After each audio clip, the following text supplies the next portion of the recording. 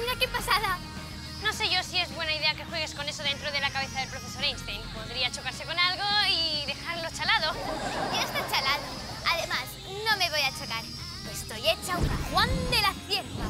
¿Una qué? Juan de la Cierva fue un ingeniero español.